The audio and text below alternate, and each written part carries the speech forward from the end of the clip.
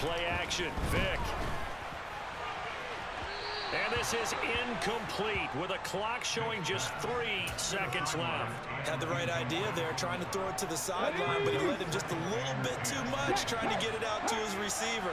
Ends up falling to the ground incomplete. He's going to take a shot at the end zone. Why not?